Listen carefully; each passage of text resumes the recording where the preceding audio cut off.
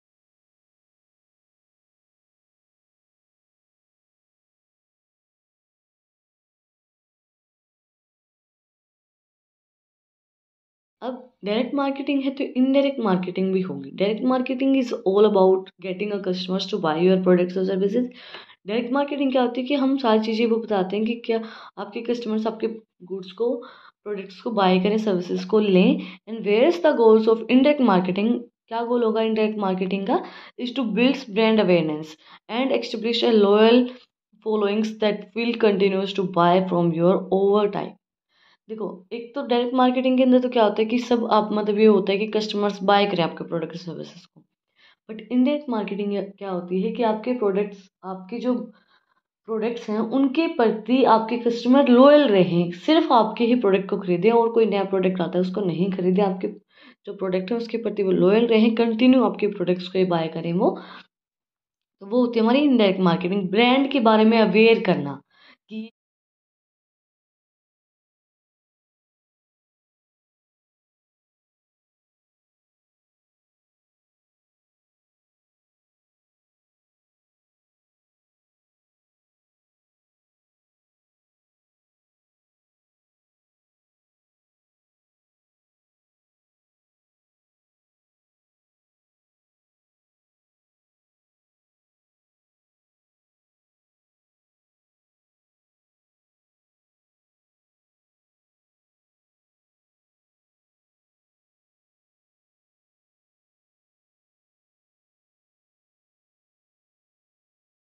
Direct नहीं, इसी का जैसा हम बोल सकते हैं डायरेक्ट मार्केटिंग और one to one marketing same ही होते हैं, ज़्यादा डिफरेंट इनके अंदर नहीं होता है बट हम डिफरेंस करेंगे ना तो आपको और अच्छे से क्लियर होगा इसके बारे में।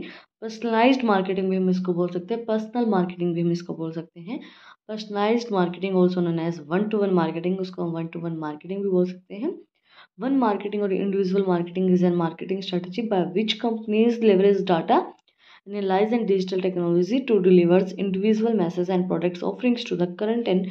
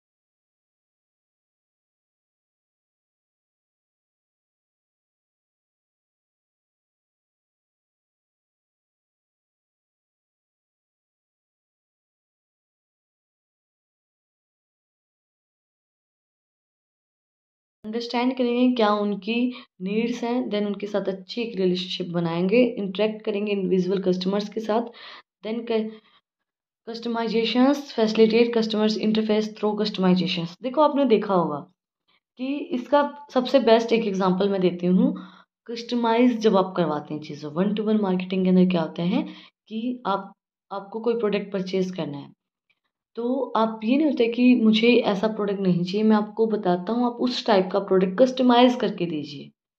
कई कंपनियाँ ये आपको सर्विसेज़ प्रोवाइड करवाते हैं कि हम आपको कस्टमाइज़ करके देंगे, इसको मॉडिफाई करके देंगे। अगर आपको कोई कार परचेज़ करनी है तो उसको मॉडिफाई करके देंगे। वो जो सर्विसेज़ आप एक पर्टिकुलर बंदे को देते हो, उसको बोलते हैं one to one marketing but direct marketing के अंदर क्या होता है कि वही सर्विसेज़ आप सबको दे रहे हो। बट वन टू वन में क्या होगा कि आप कस्ट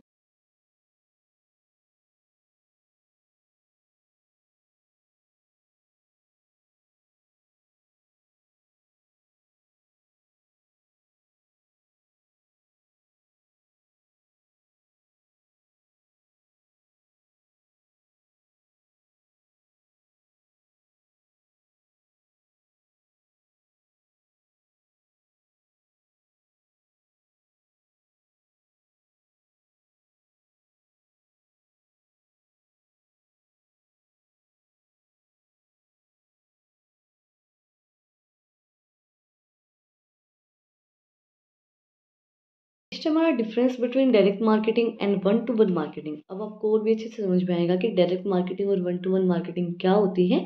डायरेक्ट मार्केटिंग का क्या फोकस होता है? Direct marketing is focus to informs the customers about the good offers direct marketing का फोकस होता है कि इन्फॉर्म करना कस्टमर्स को कि ये नए गुड ऑफ़र अच्छे ऑफर्स आए हुए हैं। वन टू वन मार्केटिंग का क्या फोकस होता है? डेवलप स्ट्रॉन्ग कस्टमर रिलेशनशिप अच्छी और स्ट्रॉन्ग कस्टमर्स के साथ रिलेशनशिप बनाना।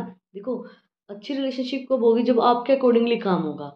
आपके अकॉर्डिंगली काम होगा, आपने बोला कि मुझे इस टाइप का प्रोडक्ट चाहिए, आपको कस्टमाइज़ करके, उसको मॉडिफाई करके आपको products provide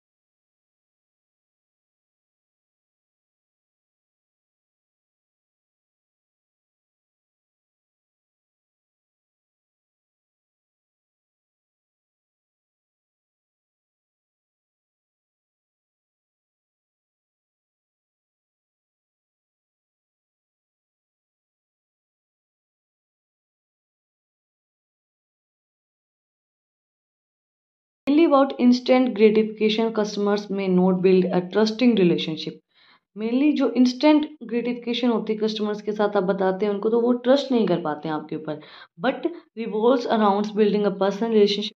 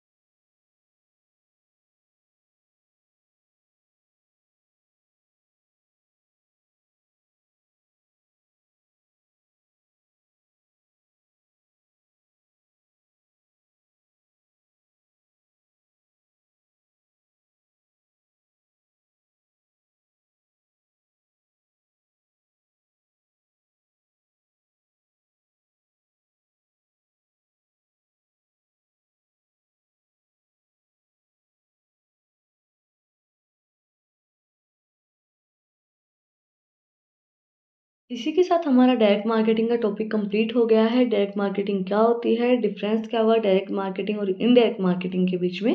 बेनिफिट्स क्या होंगे? डायरेक्ट मार्केटिंग के वन टू वन मार्केटिंग क्या होगी? उसकी प्रोसेस क्या होगी? उसके बेनिफिट्स क्या होंगे?